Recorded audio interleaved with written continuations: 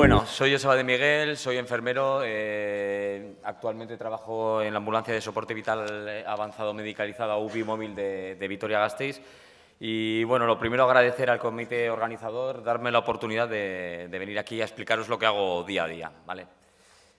Eh, lo primero voy a empezar co- eh, explicando un poquito cómo es nuestra, nuestra OSI, porque aunque mm, no es tan conocida, eh, Emergencias es una OSI, OSI Emergenciac, eh, que es una OSI pequeñita si la comparamos con el resto de las OSIs, pero que tiene una peculiaridad, ¿no? que es interterritorial. Esto quiere decir que trabaja eh, en los tres territorios, ¿vale? Tenemos recursos en los tres territorios.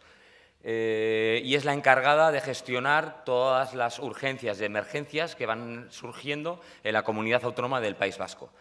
Eh, hay un vídeo de la propia OSI muy bonito que a mí me encanta y yo creo que explica muy bien lo que es la OSI de emergencias, que es el que os voy a poner. Creo que. Vale, se pone solo. La ayuda va en camino.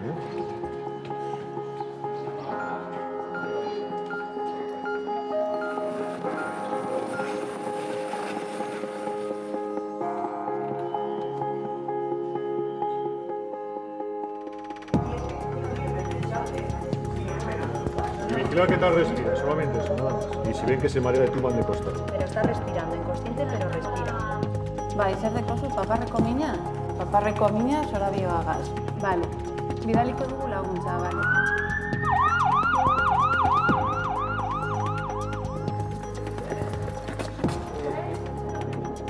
Hablas muy bien.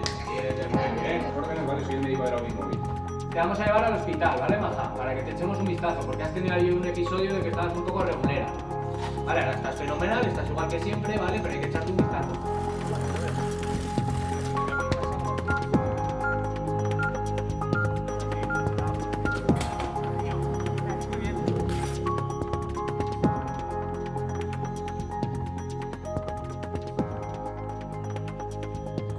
Emakume batek galdetu zion. Laguntza behar duzu. Eta ez dakigu zer egin. Telefono hartu, eta dei bat egin. Deia bat, bat, bira.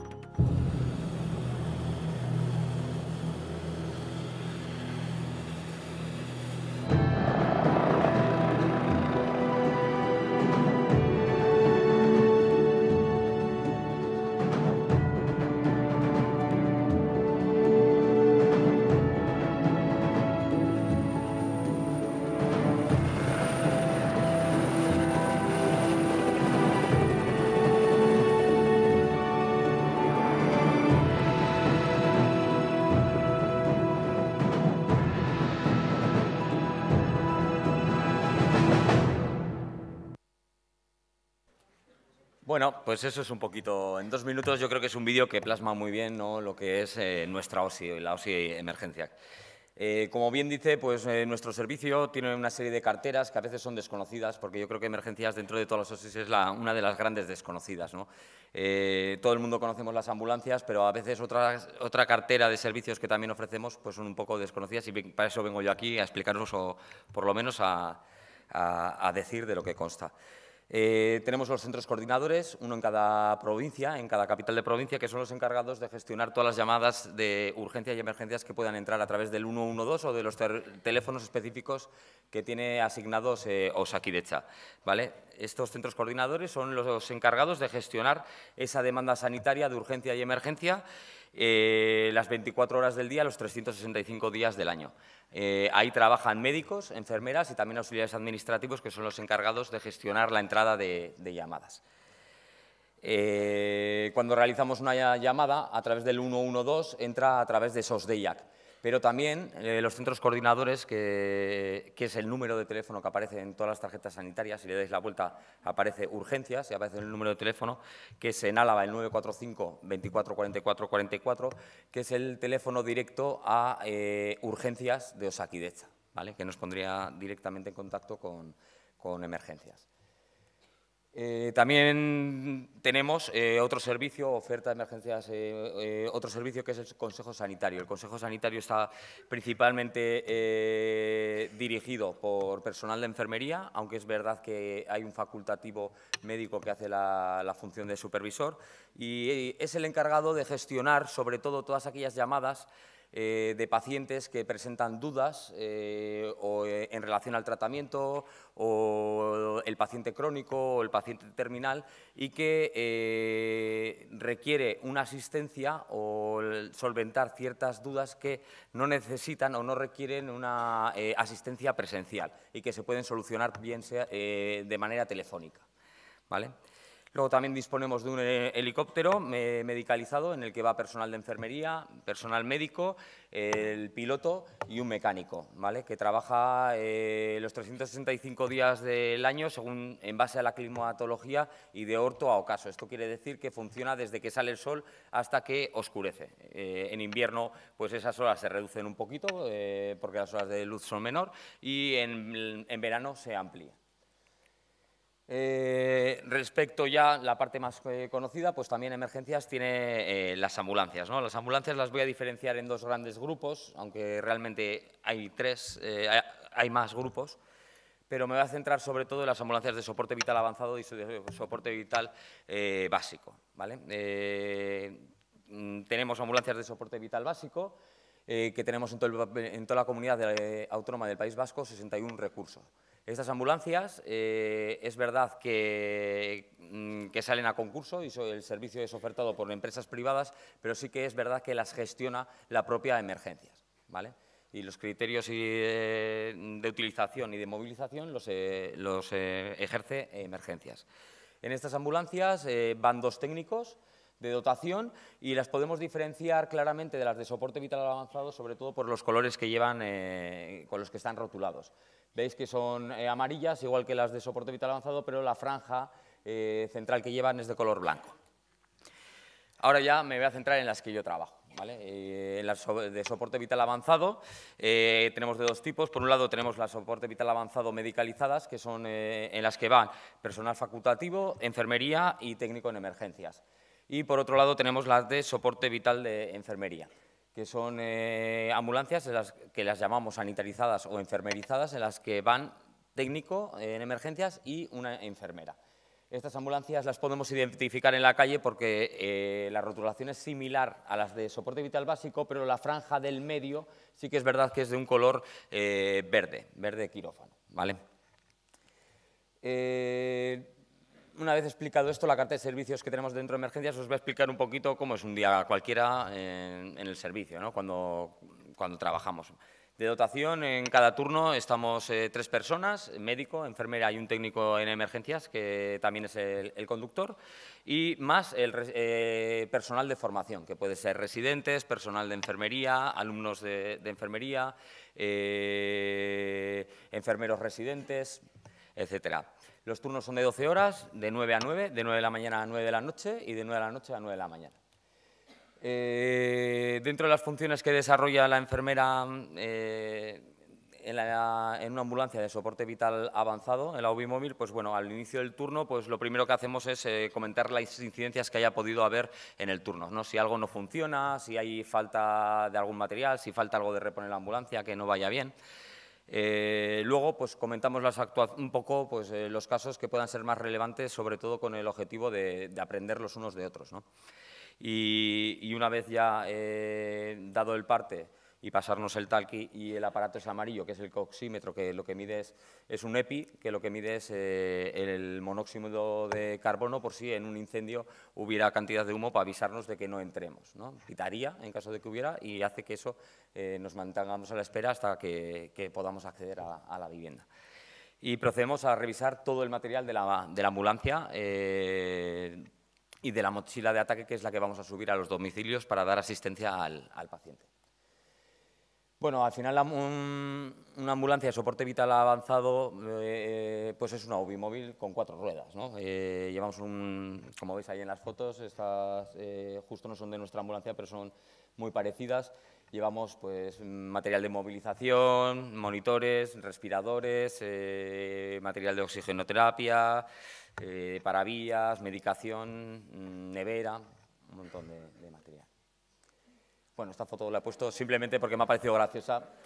Eh, mm, porque ilustra muy bien toda la cantidad de material que hay dentro de, de una ambulancia. ¿vale? Eh, luego también, una vez por semana, pues sí que procedemos también a la revisión completa del almacén para hacer el pedido, ver qué material hemos gastado durante la semana para poder reponer y revisar todas las caducidades que, mm, están cercanas. ¿vale? Eso se hace normalmente los domingos y últimamente, en el último año, se están integrando también el almacén inteligente, al igual que se están haciendo en otras eh, OSIs, como puede ser la, la OSI Araba. Eh, bueno, y luego ya nos toca esperar a que nos salga el aviso. ¿no? Eh, normalmente el centro coordinador nos activa a través del Talki, que es Tetra, y, eh, a través de voz nos informan, pues tienen un aviso en la calle eh, Bastibarrea 4. ¿no? Luego ya, una vez nos... y también nos mandan un mensaje, ¿no? como el que podemos ver ahí en la imagen, pues el, es un mensaje real de Navidad eh, de una señora que, se, se atragantó, ¿no? Pues te dan los datos más relevantes.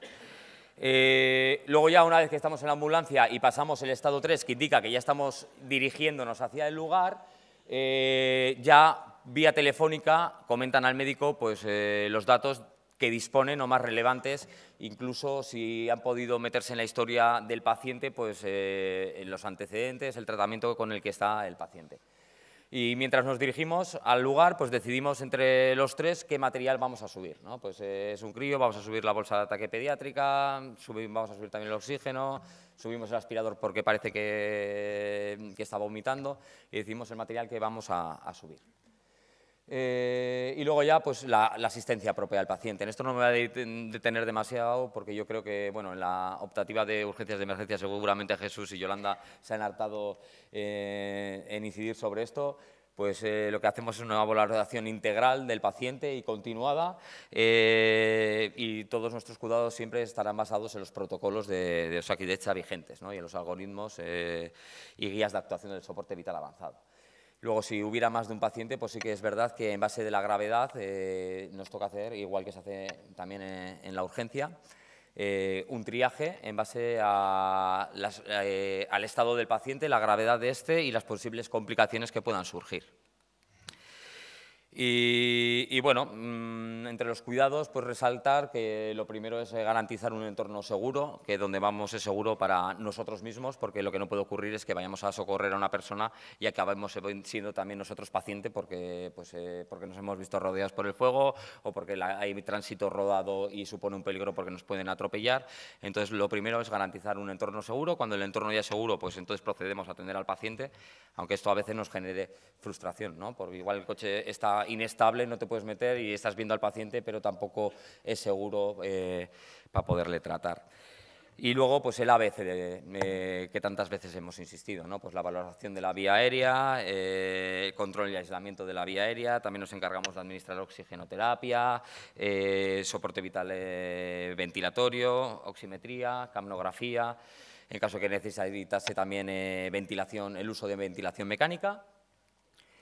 Eh, también controlar la vía circulatoria, con, deteniendo hemorragias, aplicando vendajes, la canalización de la vía venosa, la intraósea, que en la emergencia sí que en el medio hospitalario no, pero eh, en el extrahospitalario la, la vía intraósea, mm, no voy a decir frecuentemente, pero sí que es una vía que utilizamos con relativamente frecuencia porque al ir solo una, un, un enfermero y como son pacientes eh, que muchas veces están mal perfundidos, con frío, en situaciones en, las que puede ser difícil canalizar una vía, si no conseguimos canalizar una vía venosa, pues recurrimos a la, a la vía intraósea. ¿Vale? Control hemodinámico, constantes, también nos encargamos de monitorizar al paciente, de cardiovertir y de desfibrilar a los pacientes, de hacer una valoración neurológica y de hacer eh, y aplicar técnicas de, de extricación o desencarcelación de los pacientes, sobre todo en los pacientes politraumas en accidentes, de inmovilizarles bien previos a, extraerlos del vehículo y de, pasarlos a la- a la ambulancia. también control de, diuresis, de temperatura eh, corporal, eh, contención verbal, física o farmacológica de pacientes psiquiátricos. Y ya para ir terminando con las funciones dentro de la asistencia, pues luego también somos los, nos tenemos que encargar, el personal, el equipo en general, de, recoger el material que hemos eh, dejado en la vía pública o en, el, o en el domicilio, sobre todo el material punzante para evitar accidentes. Y luego ya, una vez que tenemos el paciente dentro de la ambulancia, eh, lo primero es encargarnos de, que está todo bien fijado, porque al final vamos a altas velocidades, con muchas, estamos expuestos a muchas inercias y cualquier material que no tengamos correctamente eh, fijado, el monitor del respirador, eh, se puede proyectar, dar al paciente o, a nosotros mismos. ¿vale? Luego también dentro de las funciones de la enfermera, pues el registro de, enfermería, sobre todo en, el soporte vital avanzado enfermerizado, porque en, el, en, el, en la UBI móvil o soporte vital avanzado medicalizado sí que es verdad que el informe eh, es médico y lo realiza, lo realiza el médico. Luego, una vez ya llegamos al hospital, nos, eh, realizar correctamente la transferencia del paciente, informando qué, qué es lo que le ha ocurrido, eh, cómo estaba inicialmente cuando hemos, a nuestra llegada, qué tratamientos les hemos dado, qué fármacos le hemos puesto y cómo se encuentra en este, en este momento. ¿vale? Y luego ya, por último, no termina ahí solo nuestra atención, sino que luego eh, tenemos que terminar devolviendo la operatividad al, recurso, a la ambulancia. Una vez que dejamos al paciente, llega el momento de que muchas veces eh, se utiliza mucho material y cuando llegas al hospital pues tienes la ambulancia pues, realmente llena de cosas por todos los sitios, todo el suelo. Eh, la ambulancia eh, y nos toca pues, recoger, ordenar y reponer todo el material que hayamos podido ir utilizando eh, con el paciente durante el traslado, ¿vale? antes de estar otra vez operativos. Vale, y luego también la función de apoyo emocional y acompañamiento de los pacientes, que a veces es la gran olvidada y que en, nuestra OSI o, en la ambulancia me parece que es de gran importancia porque son pacientes que eh, se exponen a una situación que les genera gran eh, estrés, que, no están acostumbrados, que muchas veces eh, nunca les ha ocurrido nada similar, ni han solicitado ninguna ambulancia, y, y tenemos que darles el apoyo psicológico y emocional para reducir esa ansiedad, ese miedo, tanto a él como a su familia. Eh, siempre brindándoles una información que sea veraz, obviamente, que lo puedan entender sin utilizar tecnicismos y que sin generar falsas expectativas. Vale, y luego, pues bueno, ya eh, por último, por ir acabando entre las funciones, pues la función docente, ¿no? Al igual que ocurre con el personal de enfermería en todos los servicios, pues eh, también tenemos ese rol docente, ¿no? Docente con, entre iguales, con nuevos enfermeros, o estudiantes de enfermería, también a la hora eh, de realizar simulacros eh, con el resto de compañeros o cursos y también eh, a los pacientes, al propio paciente, a la familia o incluso a la población en general. Bueno, esto es una imagen de, de un simulacro que hicieron el mes pasado, simulacros que se han venido realizando y eh, pues también un poco voy a hablar sobre la investigación para darle un punto ahí de, apoyo, que también eh, resaltar la importancia que también tiene la, eh, la investigación en, en, emergencias, ¿no? porque es una forma de ampliar conocimientos, de poder actualizar los protocolos, que nosotros trabajamos mucho con grupos de trabajo, en los que formamos personal de diferentes categorías, para ir actualizando eh, protocolos en base a la nueva bibliografía que vamos eh, encontrando. También, además, contribuye a la toma de decisiones en situaciones complejas e incluso también justifica, como ha ocurrido con la nueva ambulancia medicalizada que, han puesto en Aclares, puede ayudar también a justificar eh, la solicitud de nuevo recurso en algunas zonas y legitimar la profesión enfermera. Bueno, ahora ya eh, voy a pasar a explicar un poquito qué son los, cuáles son las patologías que tratamos más frecuentemente. Pues bueno, el, número uno, como yo le llamo yo, siempre el número uno por incidencia o lo que más tendemos a atender es el, dolor torácico. ¿Vale? No siempre suele ser un síndrome coronario, pero sí que el dolor torácico eh, es la patología mm, que más, eh, que más vemos. ¿no? Bien, luego puede derivar en un síndrome coronario agudo con o sin elevación del ST, y también las arritmias. Luego también eh, no es tan frecuente, pero por importancia también eh, atendemos mucho eh, politraumas, accidentes de tráfico, laborales y IMVs lo he metido aquí, aunque no todos los IMVs, que son incidentes de múltiples víctimas, son o tienen por qué ser politraumatizados, pero sí que es verdad que la mayoría de los IMVs que atendemos sí que son de origen traumático, ¿vale? de accidentes. Eh, bueno, ese de la imagen es el, de que hubo en la A1 en septiembre del 2022, en el que hubo implicados varios vehículos con un autobús, que recordaréis porque había salido en prensa que había un autobús con militares por medio y demás, que ayudaron en, la asistencia. Eh, también atendemos traumatismos severos, paradas cardiorrespiratorias, ictus, eh, cualquier situación que pueda derivar en una inestabilidad hemodinámica, comas de diferente, que tengan diferentes orígenes, eh, intoxicaciones severas, estatus epilépticos. Eh, bueno, ese es otro accidente de julio, sí, de este verano pasado, en la 1 a la altura de Nanclares.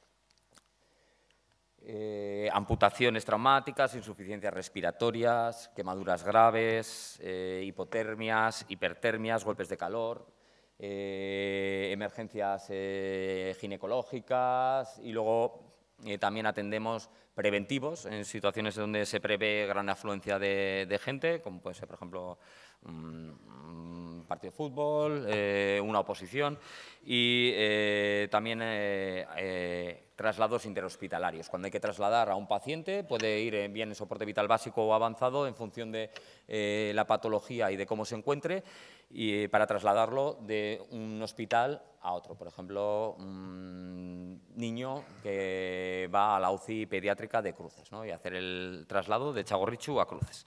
Y luego todas las situaciones en las que el médico coordinador considere que, está indicado el uso de, un soporte vital avanzado medicalizado.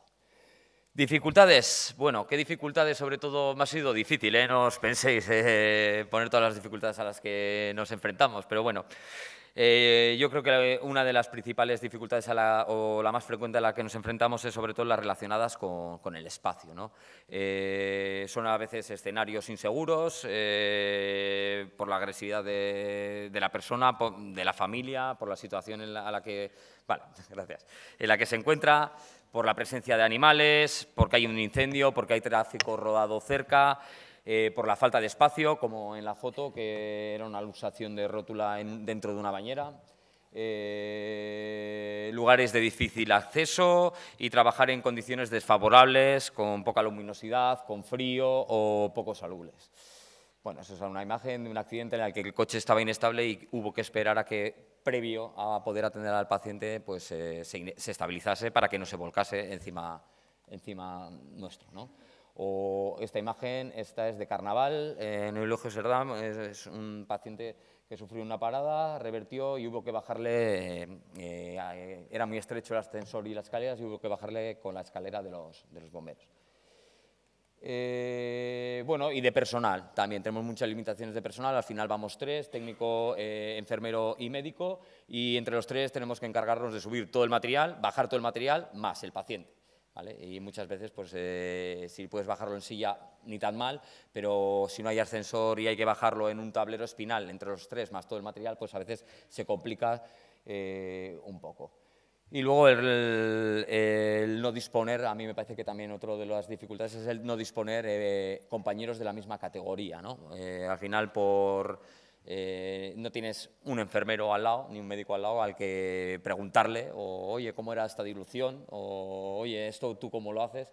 Eh, mm, o cómo mm, abordamos esto, ¿no? Eh, y eso pues también me parece que es una dificultad. A nivel psicosocial, pues bueno, estamos expuestos a altos niveles de estrés, pues tenemos que tomar decisiones de manera rápida y, el decidir bien pues condiciona en gran medida cómo va a salir eh, el paciente. ¿no? Eh, también tenemos, estamos expuestos a, una alta carga emocional y expuestos a violencia física y verbal. Esto a veces genera que estrés y síndrome de burnout eh, en servicios de emergencia. Y luego, pues accidentes en tránsito. Pues al final vamos en una ambulancia, sí que es cierto que cuando el paciente está estable intentamos ir sentados con el cinto puesto, pero muchas veces no es posible ir sentado. Pues el paciente está inestable, vas realizando técnicas, eh, a veces incluso intubando en marcha a grandes velocidades, expuestos a grandes inercias en el frenado, en el arranque, y eso hace que también te, pues, pues puedas sufrir accidentes.